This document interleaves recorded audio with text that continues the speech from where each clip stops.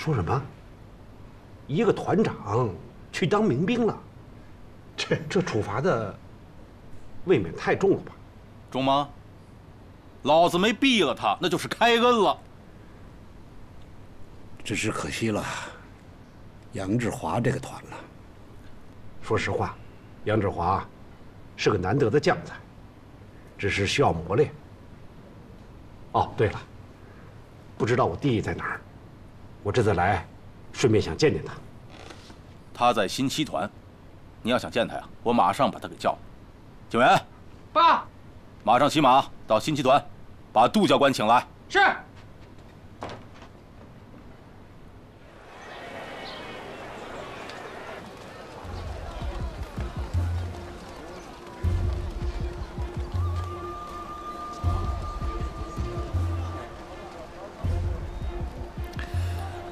记得清楚了。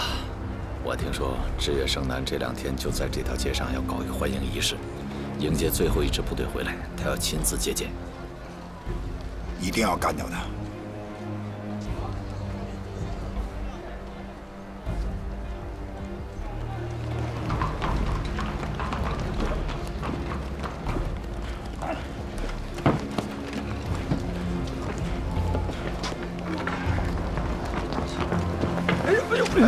干什么你？哎，大爷帮帮忙吧，积福积德嘛。哎，生个儿子当大官，生个女儿抱金川。哎，生儿子当大官。哎，商业吧，大爷，大爷，大爷，商业吧。快，别找麻烦。商业吧。哎，哎，我枪没了。哎，我的也没了。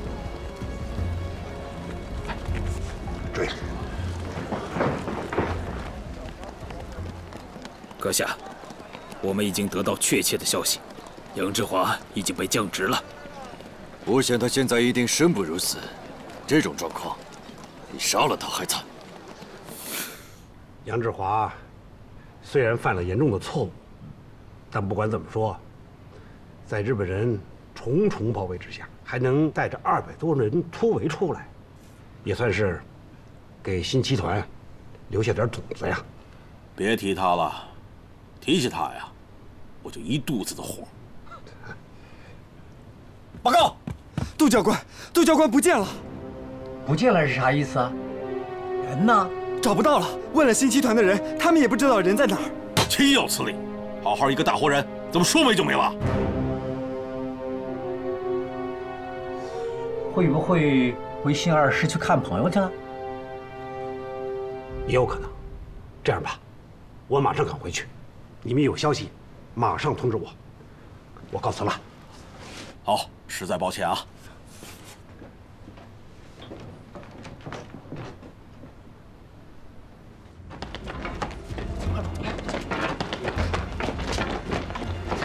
站住！站住！哎，哎哎！我跟你说啊，咱们井水不犯河水，我们不想惹事儿，把我们东西还给我，否则的话，我对你不客气。你说啥呢？把东西交出来！你可别冤枉好人呐！我虽然是个叫花子，但人穷志不穷。我可没拿过你们的东西。好，不伤害你，我就先搜搜你。我告诉你啊，看见没有？是不是那个人拿你们的东西啊？是不是丢了这个过来拿呀？对。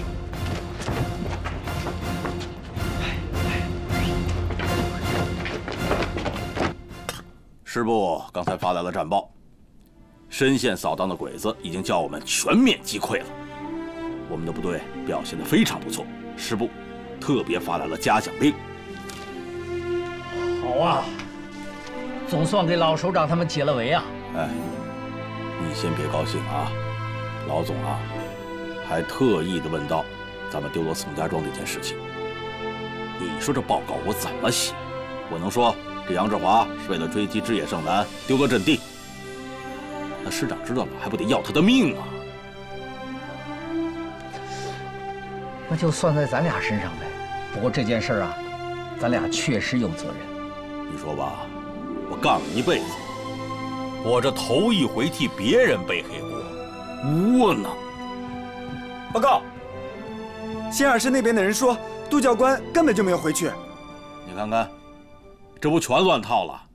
一个大活人说找不着就找不着了，你让我怎么跟杜青石交代呀？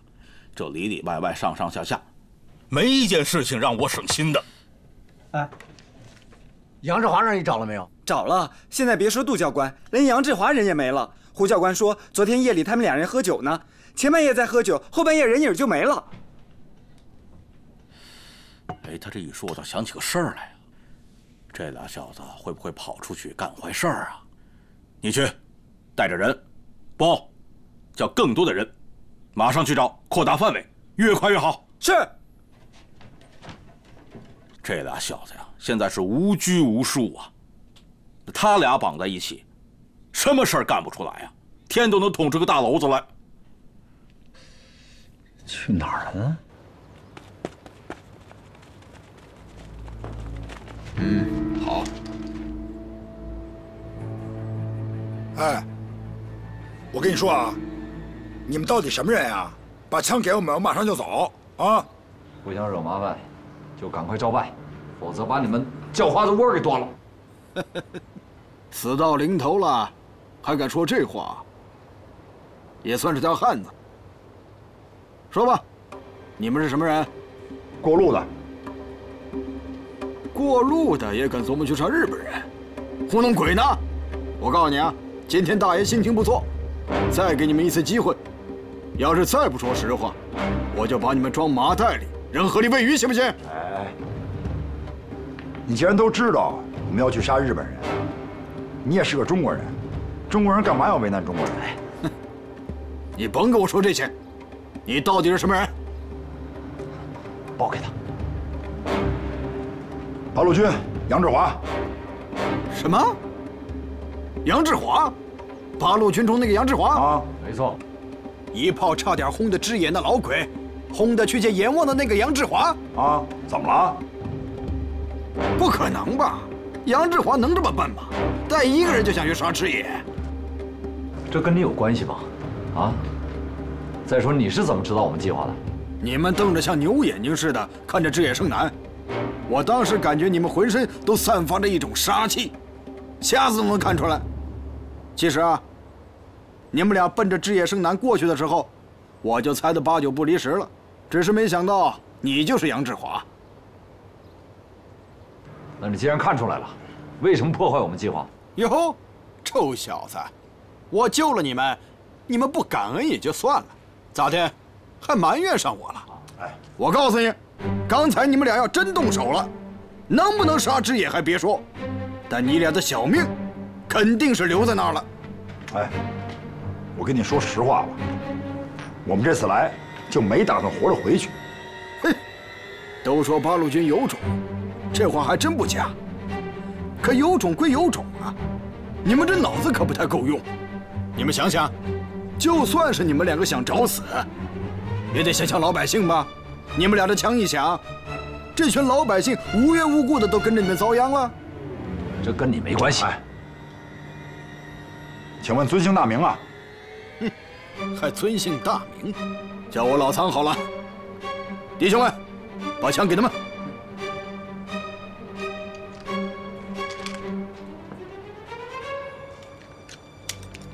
老苍，谢了，告辞。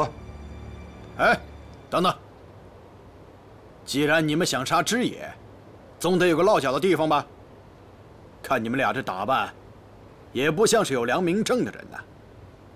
这城里的旅店可没有接你们这样的。你们要是不嫌弃，就留下来吧，住在这儿吧。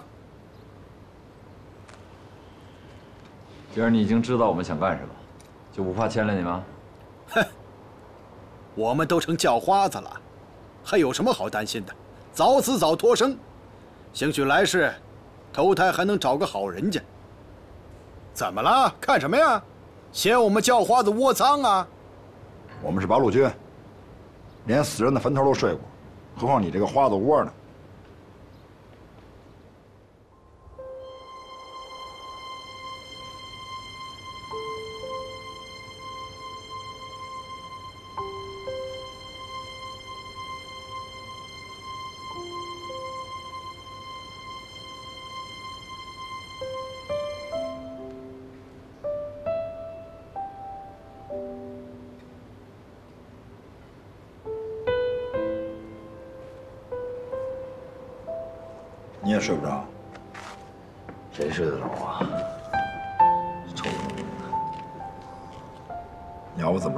少爷兵呢？这少爷兵就是少爷兵。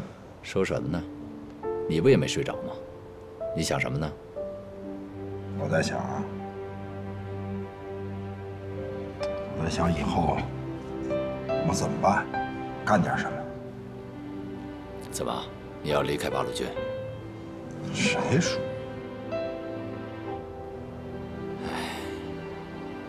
杀了枝野生男，你继续当你的民兵，我当我的团长，继续杀鬼子。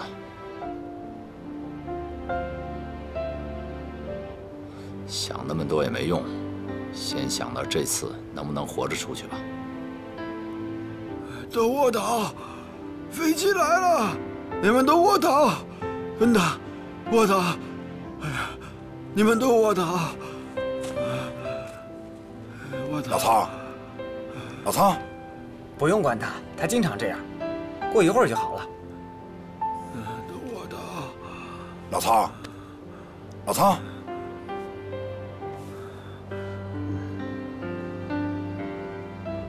老张，老张，醒醒。我我又说梦话了。老苍，你原来当过兵吧？身上有一个枪眼儿啊！而且刚才你说梦话，说什么飞机呀、卧倒啊、小鬼子，咋回事？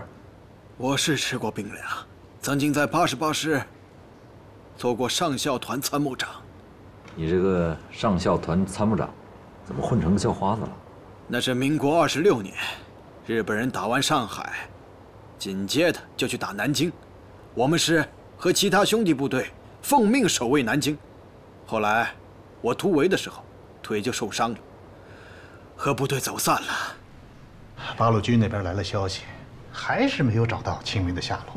可我听说这个杨志华也不见了。你说什么？杨志华也不见了。我明白了，是不是这两个小子一起去干什么事儿了？他们俩能干什么呀？哼，我估计他们俩去找枝野胜男去了。就他们两个人？杨志华就是个天不怕地不怕的人，再加上清明，你信不信？把他们俩派到东京去，他们连日本天皇都敢刺杀。你准备一下，明天一早我就动身，带上黄振涛。动身？你要去金县？清明的脾气我太了解了，如果我亲自去，谁也别想把他给劝回来。县城里面呢，还有一个军统建的秘密的据点，你们进城以后就在他们这儿落脚，他们会帮着咱们找人的。老曹，我跟你说实话，这次我们哥俩进城，就没想活着回去。这杜清明一个团的兄弟，全都死在枝叶圣男的手上。我呢，老婆、孩子、好兄弟、战友，他们的牺牲都跟职业生男有关系，没别的。我就是想亲手杀了他，要他的命。就算你们想要他的命，也不用硬拼呐。十四集团军魏宇成司令的卫队长已经答应和我们见面了，明天他就会过来。非常好，只要收买他的卫队长，我们就能顺势除掉这个人，可算是除掉了一个心腹大患。你准备一下。明天去和他们谈谈。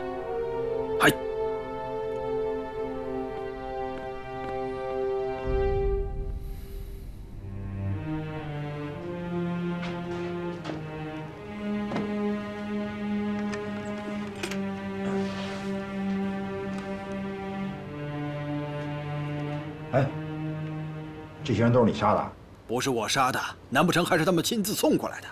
你别看我这腿脚不利索。但杀几个落单的鬼子，还真不在话下。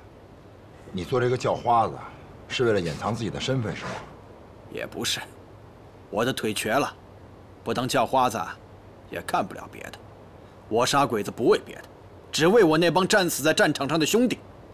我现在每杀一个鬼子，我的心里就多一份舒坦。既然你们想杀枝野胜男，就算我一份儿。你别说，老苍，我们在这儿人生地不熟的，还真需要你帮忙。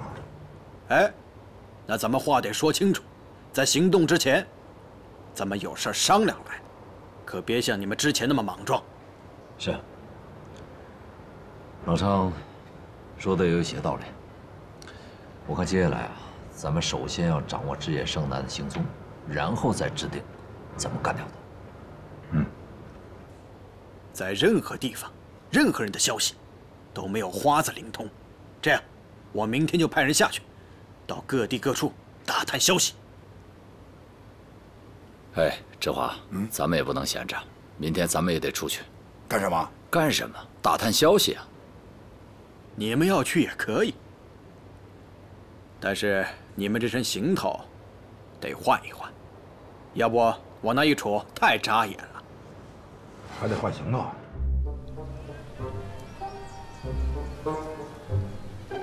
哎，吹什么呢？吹什么？你的衣服都馊了。这花子衣裳还能冒出什么香味来啊？啊！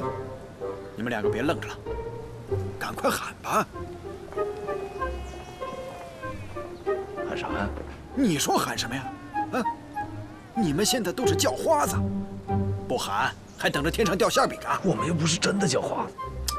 你们现在就是叫花子，要装就装得像点不然小鬼子该发现了。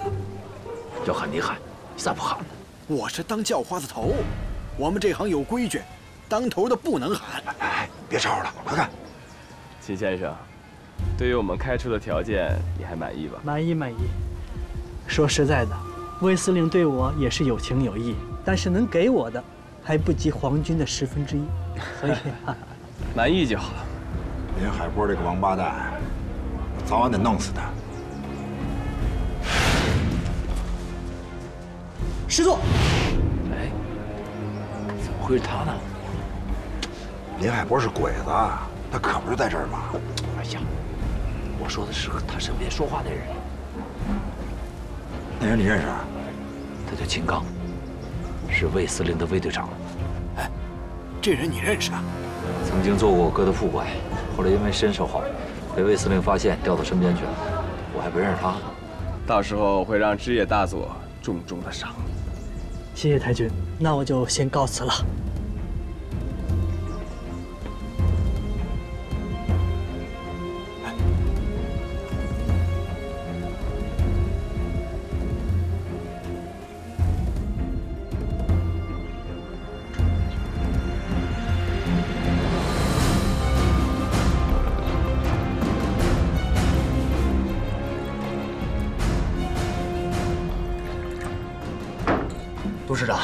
次亲自进城，有什么急事吗？我来找我弟弟，我估计他会在城里。具体在什么地方，我们可以帮助你。废什么话呀！我要是知道，还会亲自来。最近城里有什么异常了？没有，安静的很。日本人那边呢？自从跟八路打完成一场胜仗以后，那里的小鬼子跟过年似的，天天忙得各种庆祝。想想办法，把枝野胜男最近的日程搞到。我想想办法。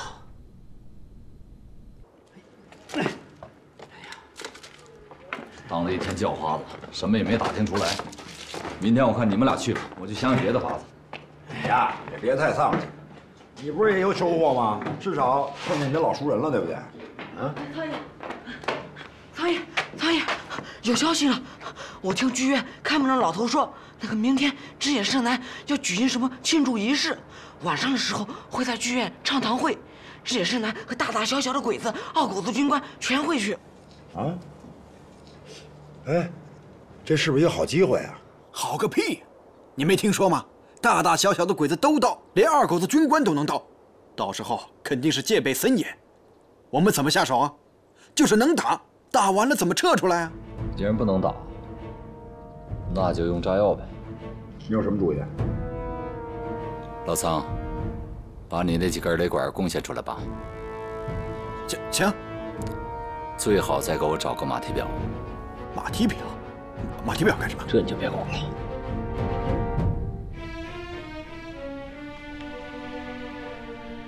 你说这小鬼子多可恶啊！为了庆祝打败咱们部队，明天在戏院要举办庆祝演出，所有的军官全都参加，可恶不？可恶！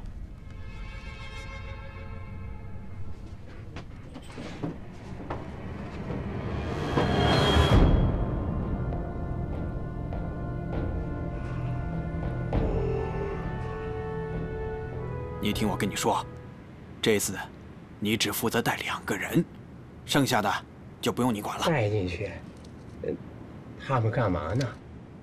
这你就不该问了。不该我问。明天晚上日本皇军在戏院里摆戏台，你让我带点陌生人进去，出了啥事那是要到脑袋的。老东西，烟瘾又犯了吧？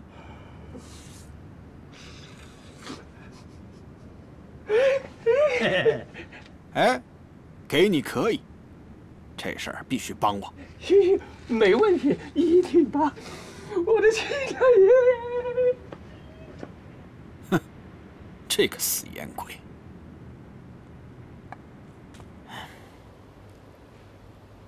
行啊，没看出来，你还会做这个？哎呀，我想你也看不出来呀。听说过吗？当年爱尔兰人为了反抗英军，连几岁的孩子都会做这个。哎呀，了不起！哎，我都安排好了，明天戏开演之前，看门老头带你们从后门溜进去。老曾，那明天的事儿全靠你了。放心吧。小华，当你看到这封信的时候，妈妈可能已经不在人世了。爸爸已经离你而去，这一切都是枝野胜男造成的。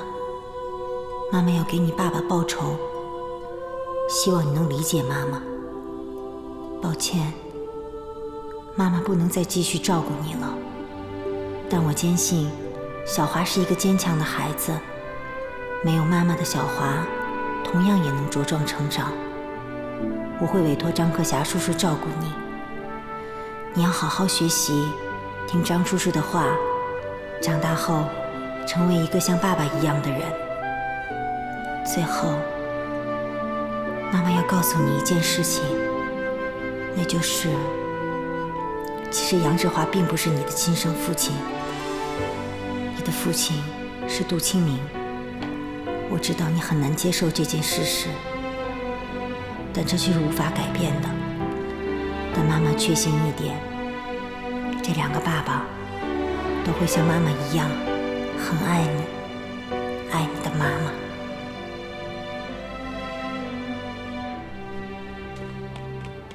杜市长，打听清楚了，枝野胜男今天在城里的大戏院看戏，还要请不少人。如果枝野胜男去的话，我想清明一定会出现。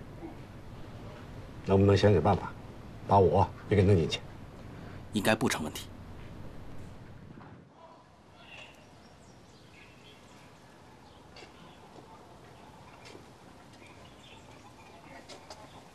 等会儿，你们是干什么的呀？老总，呃，他们两个是修电灯的。呃，今天晚上这么重要的事，得把灯都检查一遍。要是碰上个不亮的，太君怪罪下来，我们就不好办了。进来，等会儿，这箱子里装的是什么呀？打开看看。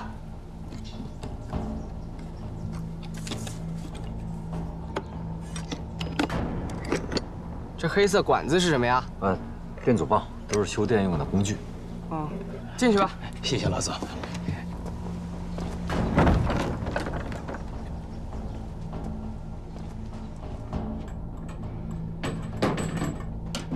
奇怪，明明就放这了。哎，看见李木兰了吗？啊，没有，这一天都没看到她了。哎呀，奇怪了！哎哎哎，你找什么呢？我这枪不见了。你说你这一天，你那丢三落四的毛病什么时候能改？我跟你说，今天的枪你要是找不着，你看我怎么处分你！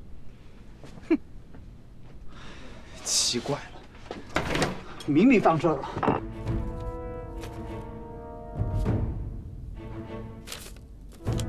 我们已经派人查实了，此处房产落在一个冯记实业公司的名下，业主叫冯才，可是这个冯记实业公司却没做过任何生意。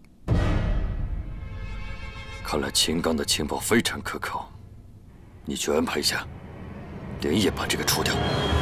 嗨，环军来传话了，说第一排得留着，不让坐人。行，我们知道了，可以走了。呃，两位小心点。哎哎，谢谢。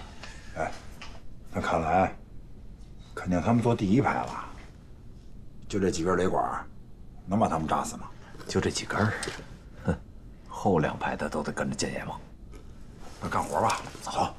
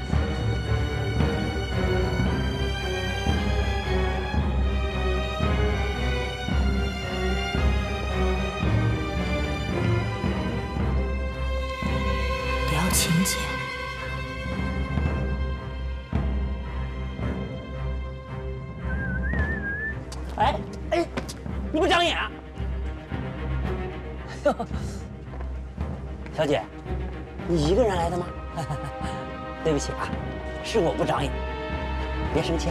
怎么就你一个人啊？你看你这么漂亮，你一个人出来多不安全啊！现在这社会多不太平啊！我一能保证你的安全，二还能陪你聊天，怎么样？一块出去玩去。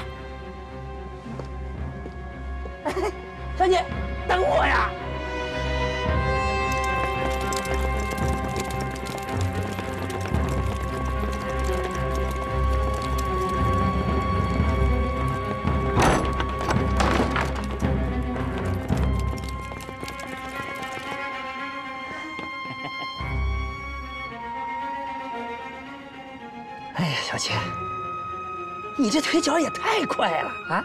我差点就没跟上。一个人出来多寂寞呀！哥哥，我有钱，带你去外面玩去。真的吗？当然是真的。哎呦，哎呦，不是不是，这这这这这个枪不能这么玩，这这容易着火。哎呀，呃，就当没见过啊。怎么了？刚才不还说带我去玩吗？这么一会儿变卦了？我那是跟您开玩笑呢。哦，我这就走了啊，别动我当真了。走啊，看戏去。不是不是，这这这这，这这这个也太刺激了，这个。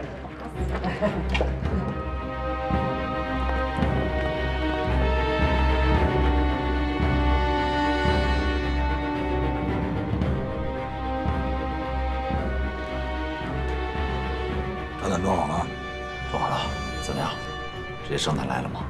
还没有呢。还有五分钟开演，嗯，我设定十五分钟后爆炸，你再留十分钟。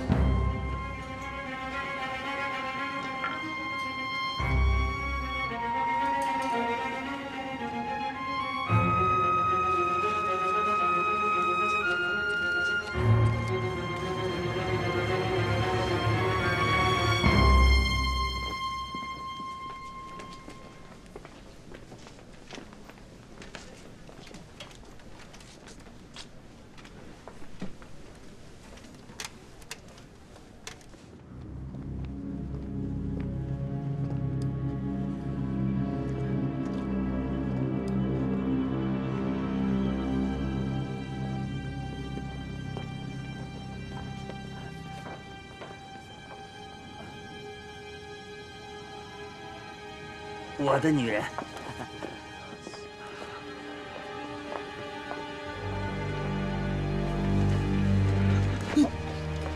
走哪儿？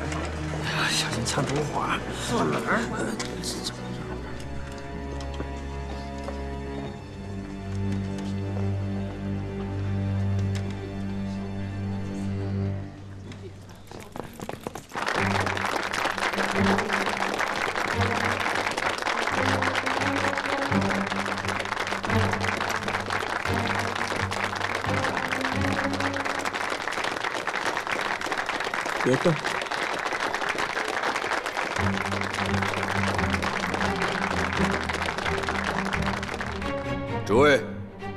今天是为了前些日子和八路军拼死奋战的勇士而举行的慰问演出。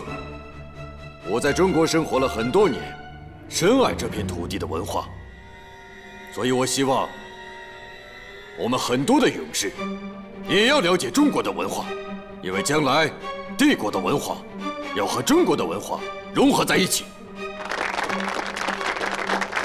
这个郑然这个老同伴，做梦也没有想到，我会坐在底下听他训话。嗯，哎，看到秦明了吗？没找着呢。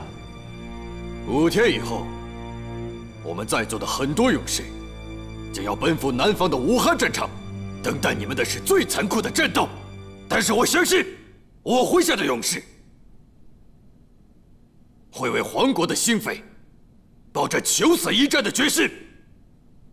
五天后，我会在城外为我的勇士举行盛大的阅兵仪式，为你们践行。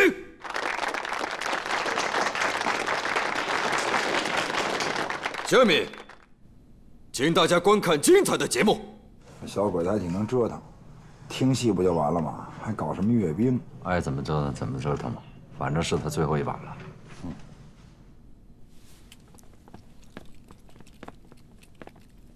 志野君，楼上的包厢已经为你准备好了，在上面看，效果会更好一些，也安全。请。啊？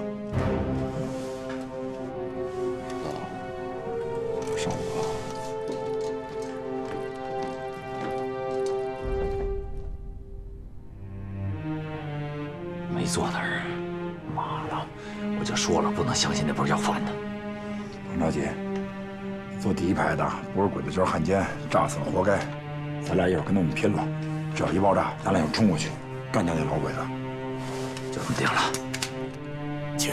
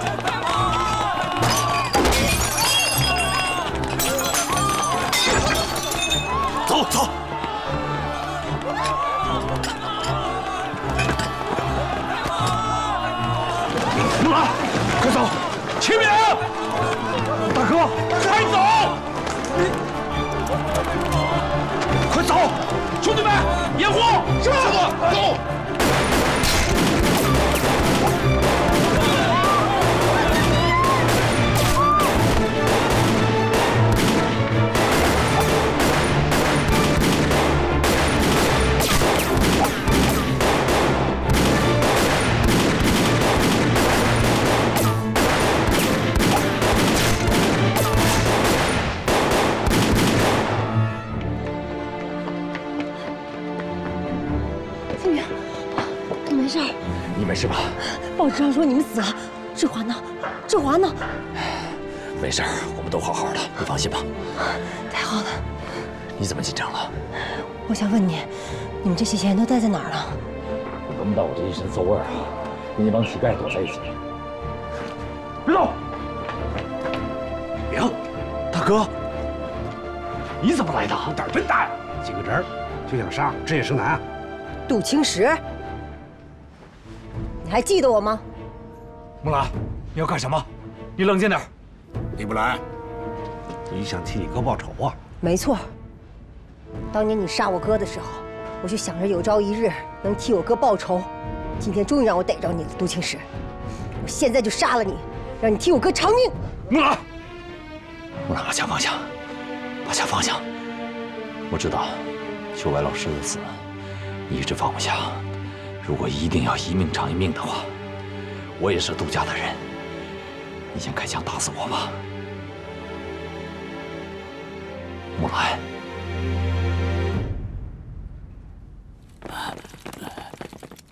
你们几个去那边！嘿，其他人滚！如果你一定要偿命的话，那就对我开枪吧。秦明章，木兰，志华，放下！我要杀了他，替我哥报仇。把枪放下！哎，怎么回事你？志华，你看清楚没有？那是杀我哥的凶手啊！我跟你说啊，现在的你跟过去不一样了，你现在是共产党员，现在的时期呢是国共合作时期，能这样吗？你不会不知道里边的行动吧？就算是想报仇，也不是现在。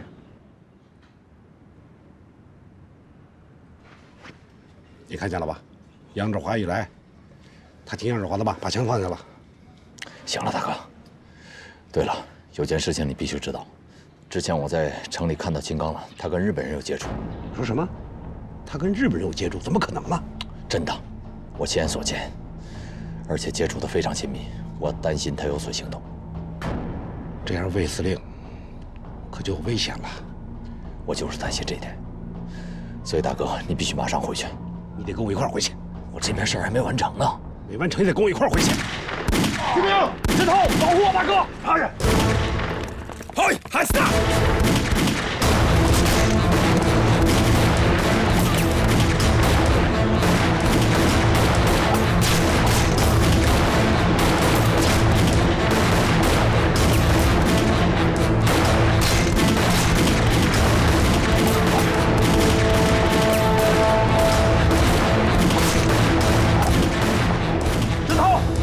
大哥和木兰走。师座，师座，注进。啊！站住！站住！走，我掩护你们。师座。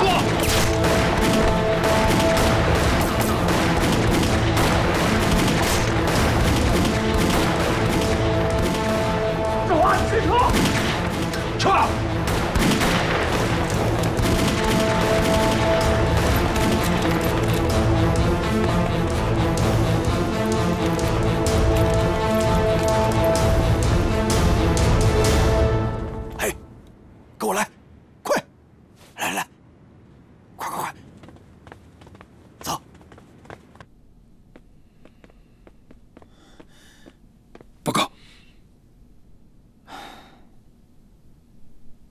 抓到了吗？怪我无能，没能抓到刺客。好了，你们不要自责了，毕竟我们是在人家的国土上，发生了这样的事情，也在所难免。刺客的身份确定了吗？从刺客的尸体上搜集的情报来看，应该是军统的刺杀队。叶军，我看最近城里不是很太平，五天后的那场阅兵是不是要取消？为什么？区区几个刺客，能吓到我吗？不不，够了！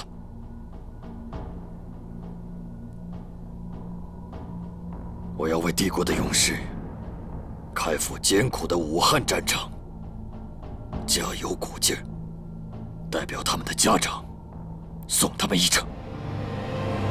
嗨！